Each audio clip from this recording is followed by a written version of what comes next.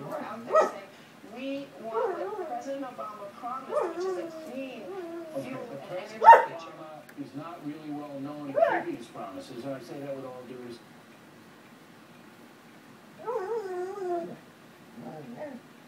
What do you want? What do you want? What? What? We're not playing. Just ignore her for a minute.